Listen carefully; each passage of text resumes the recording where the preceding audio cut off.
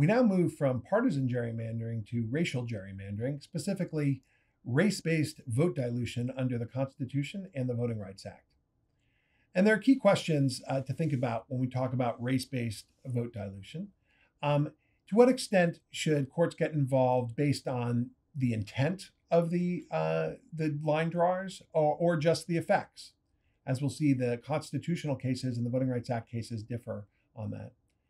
And then, how do we measure uh, race based vote dilution? As you know from the partisan gerrymandering cases, the issue of partisan bias has always been seen as controversial and, and difficult to ascertain. Um, so, how should we measure um, the effect of uh, racial discrimination when it comes to the redistricting process? And then, third, what should the remedies be um, if we do find illegal uh, vote dilution on grounds of race, either the Equal Protection Clause or under the Voting Rights Act? Let's start with the classic case of Gomillion versus Lightfoot uh, in 1960. In that case, the city boundaries of Tuskegee were redrawn in order to excise virtually all of the African Americans from the city of Tuskegee. Uh, so you can see the, um, the, the square shape of Tuskegee before uh, the gerrymander, and then the uh, 28 sided uncouth figure, as it was described in the in the case itself, that uh, it became when um, the city of Tuskegee was redrawn in order to uh, take out all the African Americans, or almost all the African Americans, from the city. The court ruled this unconstitutional, even with Justice Frankfurter writing, um, because it was seen as a violation of the 15th Amendment, that by essentially taking them outside of the city, um, the court said, you were depriving African Americans of their right to vote under the 15th Amendment. The 15th Amendment uh, prevents uh, abridgment of the right to vote on grounds of race. And so, even though it wasn't like a literacy test or a poll tax or a specific law that prevented someone from voting, um, it effectively um, had that impact because it meant that people who had been voting or had the right to vote in Tuskegee elections now uh, were gerrymandered outside of the city and no longer able to vote. So, if you go back uh, to the 1960s and earlier, we can see that redistricting had been used in many different ways to minimize the votes of African Americans in particular. Here's a proposed congressional district from Mississippi in 1966, where you can see that uh, although it would be quite easy to draw a district along the Mississippi River that would have uh, represented African Americans and would have been majority African American, instead, the proposal would slice up that community going east west so that each one of the districts would have a, a white majority. And through the cracking of the black community and the efficient dispersion of whites uh, throughout the state, um, the, the, the line drawers would be able to, uh, to, to ensure that all of the, de- all of the representatives from those districts um, were white.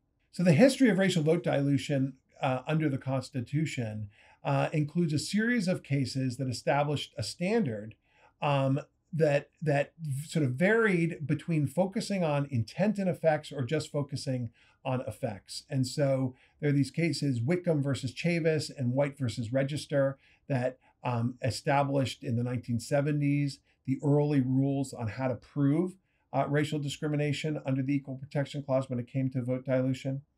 Um, those, as we'll see, um, were supplanted by a later case called Mobile versus Bolden, which preceded um, the enactment of the 1982 amendments to the Voting Rights Act. What emerged from those earlier cases, the pre Mobile versus Bolden cases, though, was a standard that looked at the history of discrimination and the effect on minority political opportunity based on a totality of circumstances analysis. So you looked at um, sort of the, the voting rights situation for racial minorities in the particular jurisdiction and did these dilutive attempts through redistricting or at large voting systems prevent them from electing their candidates of choice.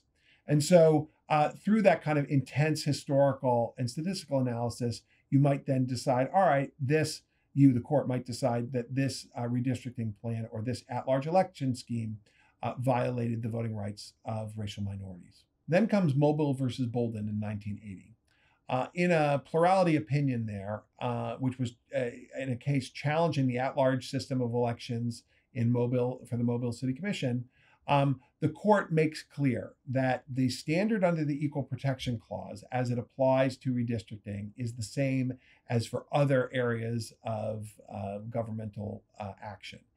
And so, while in that case you had three members of the Mobile City Commission, all of whom were elected by the entire population of Mobile, uh, 35% of Mobile uh, was African American, um, but there weren't any uh, commissioners who were black. The and so the plaintiff sued, saying, "Look, this is uh, discriminatory. It has a discriminatory effect. We're one third of the population, and yet we can never seem to elect uh, someone to the uh, city commission." And the court says, "Look, that that's not um, enough in order to prove unconstitutional discrimination. The standard for equal protection, again, suspect classification prong of equal protection, is that uh, for vote dilution, you need to prove purposeful race based vote dilution. You have to show discriminatory purpose and discriminatory effect, just like you would for employment or schools or any number of other areas. You have to show um, that the reason that this, this person has been injured was because of their race. Specifically, this is a standard from a case called Personnel Administrator versus Feeney in 1979, which actually dealt with gender discrimination and a veteran's benefit. But the standard that comes out of that for um, for equal protection law is that discriminatory purpose implies more than just intent as volition or intent as awareness of the consequences. It implies that the decision maker selected or reaffirmed a particular cause of action, at least in part because of, not merely in spite of, its adverse effects upon an identifiable group. So even if you know that the uh, the particular redistricting plan or the representational system is going to minimize the representation of racial minorities, the fact that you enact it does not mean it's unconstitutional. You have to have enacted it for that purpose, right? The reason that you um, enacted that redistricting plan was to discriminate, and that's a very high bar in order to jump over to sort of get the kind of smoking gun evidence that's necessary to show that the reason that a redistricting plan was passed was in order to discriminate against a particular racial group. Mobile versus Bolden was seen as a controversial decision, in part because it, it seemed to change the landscape that had been set by cases like Whitcomb versus Chavis uh, or White versus Regester. And so Congress, when it was amending and reauthorizing the Voting Rights Act of 1965, then overturned Bolden to come up with an effects based test in Section 2 of the Voting Rights Act. And so the, the Congress grappled with the challenge of how do you uh, both make it a little bit easier for plaintiffs to prove racial discrimination in the redistricting process, while at the same time not guaranteeing that there are certain districts that will elect, say, Black representatives or Latino representatives. And so what they came up with is this uh, provision of law uh, uh, in the newly amended Section 2 of the Voting Rights Act. The first section, Section 2A, um, uh, had existed before, and it said no voting qualification or prerequisite to voting or standard practice or procedure shall be imposed or applied by any state or political subdivision in a manner which results in a denial or abridgment of the right of any citizen in the United States to vote on account of race. And that uh, echoes or mimics uh, the words of the 15th Amendment. But what, what's new in 1982 and has been quite important in terms of regulating racial gerrymandering uh, since then is this Section 2B, which says a violation of what I just read is established if, based on the totality of the circumstances, it's shown that the political processes leading to nomination or election in the state or political subdivision are not equally open to participation by members of a class of citizens protected by subsection A, basically racial or language minorities. In that, and this is the key language, they have less opportunity than other members of the electorate to participate in the political process and to elect representatives of their choice. So, how might you think about this totality of the circumstances language, which is in the first line of Section 2B? The court says the extent to which members of the protected class, which is to say, say African Americans or Latinos, have been elected to office in the state or political subdivision is one circumstance which, which may be considered provided that nothing in this section establishes a right to that have members of the protected class elected in numbers equal to their proportion in the population. That last uh, proviso is known as the Dole proviso, named after Senator Robert Dole. And you can see that that Section 2 is trying to express the, the tension that I was describing earlier. On the one hand, wants to make sure that under conditions of uh, racial discrimination, that you wouldn't have to prove discriminatory purpose, but that you could show based on the totality of the circumstances that um, a that a redistricting plan was discriminatory. However, that doesn't mean that the uh, number of, say, African Americans in the legislature needs to mirror the numbers of African Americans in the population. And the, the Dole proviso makes clear that that is not what Section 2, as newly amended, uh, requires. So the totality of circumstances language that is in Section 2B of the Voting Rights Act is a reference to this list of factors um, that are known as the Senate factors because uh, they come from this Senate report that accompanied uh, the Voting Rights Act. And these were borrowed from um, the, the cases I mentioned earlier, like White versus Regester, which mentioned these factors, which was based off of a Fifth Circuit case called Zimmer versus McKeithen. But as you can see from um, this list of factors, it involves all kinds of inquiries as to uh, history of racial discrimination in voting, in housing and employment, education, as well as the use of sort of exacerbating factors like single shot voting uh, or party slating. All, it, it, requires just an analysis of uh, the extent of racial discrimination in voting and in the electoral uh, system. Um, but even in, in, in the Senate report, it makes clear that no single uh, factor is going to be dispositive, and other factors uh, might be important enough uh, such that it would be uh, enough to prove uh, racial discrimination cognizable under Section 2 of the Voting Rights Act as amended. Given the number of factors that appeared in the Senate report and the fact that the words of Section 2 require some judicial interpretation, it was left to the Supreme Court in this famous case called Thornburg versus Gingles in 1986 to make clear the ingredients for a Section 2 vote dilution case. And so in Thornburg versus Gingles, um, the court strikes down several multi member districts that were part of the North Carolina General Assembly's redistricting plan. And what's key about Thornburg versus Gingles is that it, it, it sort of uh, boils down those Senate factors to three threshold factors that what are known as the Gingles prongs, even though uh, it is still true that you have to, as a Section 2 plaintiff, you've got to prove uh, the Senate factors as well. But these Gingles prongs are uh, threshold conditions that you have to meet in order to um, have a legitimate claim under Section 2 of the Voting Rights Act. So here are the three threshold conditions. The minority group has to be large and compact enough to constitute a majority in a single member district. Second, the minority must be politically cohesive. And third, the white majority must usually vote as a bloc to prevent the minority from electing its candidate of choice. So now let's let's go through each one of those uh, three Gingles prongs and see how it's been operationalized both by the court in Gingles and then by subsequent cases. So first, why do we require that a minority community be large and compact enough to constitute a majority in a single member district? Well, the answer is that look, minorities lose in a majoritarian system. Uh, and so the fact that a minority uh, happens to lose is not necessarily democracy uh, democracy failing. It could be democracy succeeding. And so uh, the fact that that say a racial minority group has particular political preferences, but they're not able to win, is not in and of itself a legal problem, um, because the minority community has to be large enough so that uh, if you were to redistrict, if you were to draw districts in a different way than the way that the at large system or the redistricting plan by the state has done, that then you would be able to draw a district in which they would have an equal opportunity to elect their candidates of choice.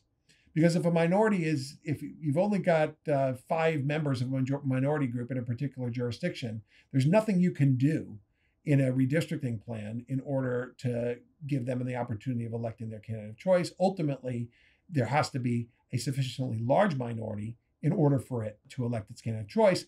And the court um, made clear in Holder versus Hall that you can't just sort of multiply the number of districts um, in order to, to make sure every minority is able to have a, a district in which they are the majority. That the number of representatives in the system as it exists that you are challenging is going is the benchmark against which you measure vote dilution going forward. So, for example, in Mobile versus Bolden, as we discussed before, there were three members uh, that were elected at large for the Mobile City Council. And so the remedy would be that you'd have to show that at least one of those districts could be drawn with a majority minority population uh, so that they, the minority would be large and compact enough to have an equal opportunity to elect its candidate of choice in those districts. So, what do we mean by uh, large enough? Uh, Bartlett versus Strickland, a case much later than, than Gingles, makes clear that 50% means 50%. When we said majority minority district, we meant uh, majority minority district. And so uh, the population must be over 50% of a prospective district. You can't come into to court and say, hey, we're 40% of a prospective district, but there's some people who might cross over from the white community to help us out. Uh, that's not enough. You have to show that you're over 50%. Uh, Interesting the court doesn't say 50% of what? Like, is it voting age population? Is it population? Is it citizen voting age population? Is it registered voters? They don't come out and, and, and say it precisely, but many of the lower courts have said that um, we should pay attention to the citizen voting age population. Unfortunately, citizen voting age population is not a statistic that's provided by the Census Bureau. With the decennial census, you have to derive it from other census surveys like the American Community Survey. And uh, we don't have a clear pronouncement up by the Supreme Court that that's the statistics that you should use. But the the the logic is that the word citizen appears in Section Two of the Voting Rights Act, and so um, the the court um, in interpreting uh, the, the, the various lower courts in interpreting it has said that 50% or over of uh, the citizen voting age population would need, need to be required as a threshold condition. But I don't want to suggest that that has been uh, an issue that's been completely settled uh, by the Supreme Court. All right, what about uh, compactness? Because it says large and compact enough to constitute a majority in a single member district. So here the rationale is that you need to be able to connect the community, uh, if it is large enough, together in order to draw a minority opportunity district. That if you have pockets of voters in corners of the states and the in the state, and the only way to draw them together would be to draw a very strange uh, figure going from one corner to the next, uh, that that isn't required uh, by the Voting Rights Act. And uh, as we'll learn in another lecture, this is uh, consistent with uh, another line of cases under the Constitution, sort of the wrongful districting cases are sometimes called, or the excessive use of race cases under Shaw versus Reno, which also emphasizes compactness. But that's that's a conversation for another lecture. Um, so, what does it mean to be compact? Is this uh, just an artistic requirement? How do you know? And uh, the, the case LULAC versus Perry, which came out in 2006, gives us some guideposts there because in that case, in order to prevent Section 2 liability, the state of Texas drew a district that went from Austin all the way down to the Mexico border. And, uh, and the court said that that is not what is required by uh, the Voting Rights Act. And in fact, you, by trying to um, to draw you, the state of Texas, by trying to draw that district, are not uh, vindicating the voting rights of people in southern Texas uh, who have an authentic claim uh, under Section 2. And so, why it's it's both the kind of far flung nature of that district that it was, um, you know, stretched over 300 miles that made the court say that this is not a compact uh, district required under the uh, first Gingles prong, but also uh, that the, the Mexican Americans who were who were put into that district were quite socially and economically different from each other, and so the state of Texas tried to replace a community which had an authentic Section Two claim with this far-flung district that joined two very different Latino communities together. That brings up the issue of minority political cohesion, which is the second prong of Gingles, and then white bloc voting which is the uh, the third prong. And so the issue here is uh, a minority community must be politically cohesive in order to have a Section 2 entitlement. And by that, we mean that they tend to vote together uh, for particular candidates. Because if the minority community is fractured and is voting for all different types of candidates, then it doesn't make a difference if you draw them into a district with each other. There is no minority candidate of choice. There is no uh, uh, set of candidates that the minority community would be behind.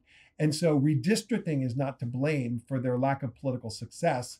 It's the fact that they are not cohesive uh, as a political community. So, how should you prove, though, either minority political cohesion or white bloc voting?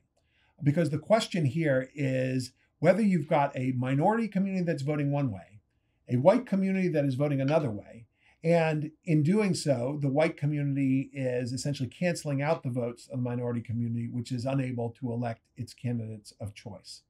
And so there are all kinds of statistical methods to try to measure uh, and, and, evaluate uh, racial bloc voting. We call this RPV analysis, racial polarized voting analysis, um, racial bloc voting analysis. And so uh, you could look at the uh, the homogeneous precincts. For example, if if precincts that are over 90% black are voting for one set of candidates, precincts that are over 90% white are voting for a different set of candidates, and that is routinely happening in different elections, that's one way to, to get a sense of that. It doesn't necessarily mean that um, uh, people of particular races are, are, are always voting for particular candidates, but it's, it's a way to develop an inference. Similarly, uh, you can look at uh, ecological regression techniques. You can do, for example, what, what's shown in this uh, graph, where you array along the x-axis the percent black in a precinct, and you array along the y-axis uh, the percent of the vote received by the black preferred candidate. In this case, it was Cleo Fields, who was a representative from Louisiana.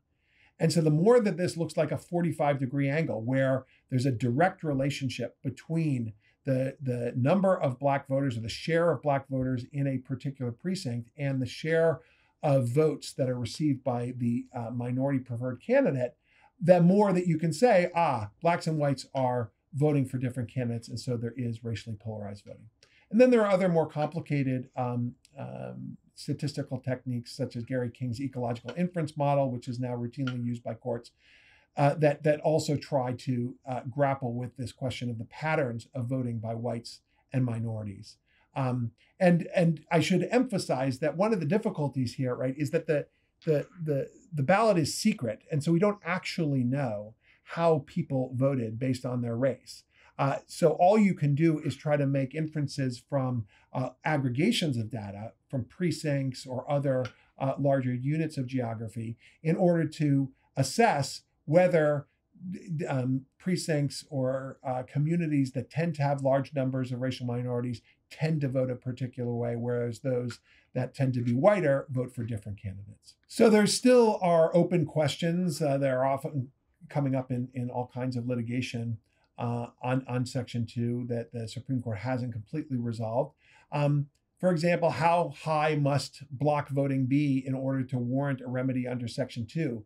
Um, the, the, the graph that I just showed with the election of Cleo Fields, that is that is a almost perfect racial polarization, but oftentimes it's not that perfect. So how much white crossover voting, as we say, um, would be enough to defeat a Section 2 claim so that you say, well, actually, um, uh, whites are, are voting enough for the minority preferred candidate that there's no Section 2 entitlement. Um, similarly, this question of minority political cohesion uh, uh, comes up. And the issue is, uh, you know, can you have what are known as coalitional district claims?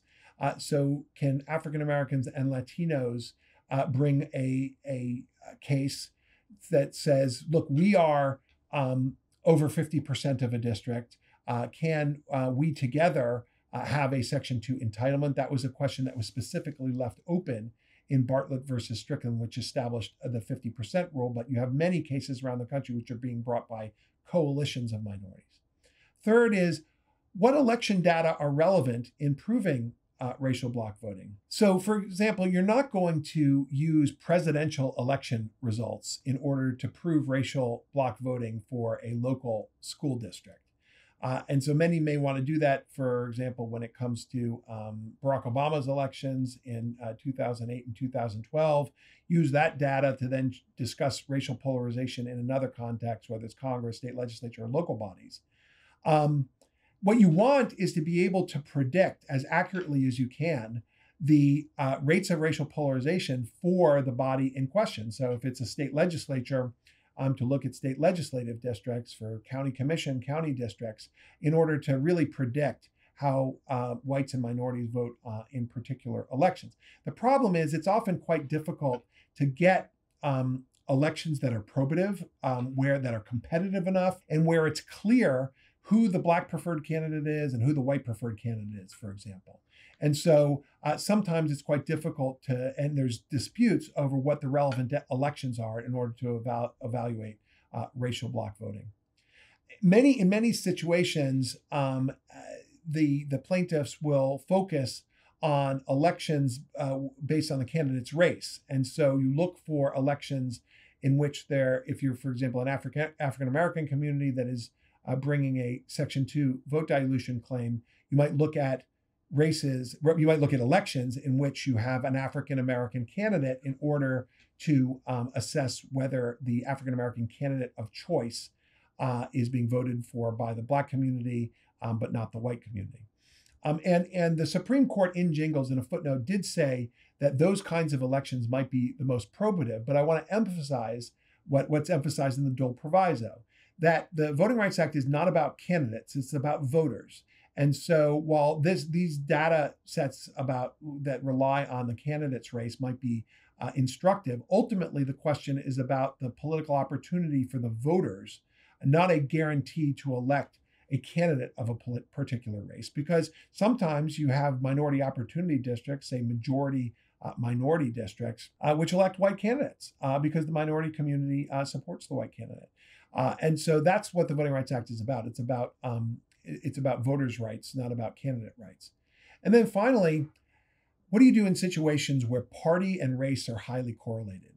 Uh, I showed you the the graph of racial polarization where it's quite easy to predict uh, based on the race racial percentages in a precinct how the black preferred candidate might do in that in those situations. Um, but suppose that uh, there's a perfect correlation between race and party, so that blacks are Democrats and whites are Republican in particular areas.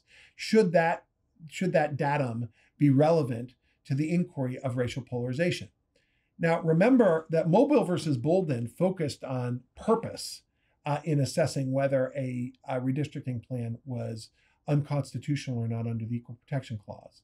And so, as a general rule, Section 2 was was sort of moving us away from looking into the minds of people to see whether racism was the, the reason behind a particular districting plan and lack of minority uh, political success. And so, a party could, one say, one might say, be irrelevant to um, the the question in under Section Two, which looks at discriminatory effects. But you do have different different courts that have grappled with this in different way um, to look at uh, for example, to look at primary elections or to look at nonpartisan elections to assess how much work is being done by political party as opposed to independently uh, from the race of voters in predicting minority candidate success. So a later case called Johnson's versus De Grandy added what's sometimes known as the fourth prong uh, uh, uh for Gingles. And Johnson versus De Grandy really just clarifies those, those conflicts over proportionality that I was describing before it makes clear that Section 2 of the Voting Rights Act doesn't require proportional representation, according to the Dole Proviso, meaning that, you know, if 50% of the state is black, it doesn't mean that 50% of the representatives need to be black. Uh, however, Johnson versus De Grandy does say that if you have a proportional system, meaning that the share of minority opportunity districts equals the share of minorities in the population, that that is a factor in favor of the redistricting plan. So, for example, if 50% of the state is black, 50% is white, and half the districts have black majorities in them, that that would be a factor in favor of a redistricting plan. It doesn't necessarily mean that there's not a uh, uh, another Section Two claim that could be lodged because it's what Johnson versus De Grandy also says. You can't discriminate against voters in one part of the state by trying to draw, say, a minority district in another part of the state, and that's what LULAC versus Perry holds as well. Uh, but if you if you have achieved uh, proportionality, that that for the court would be seen as a factor in favor of the redistricting plan. So where do things stand? So there's tension between Section 2 and Shaw versus Reno, the series of cases on wrongful districting that I'll talk about in another lecture.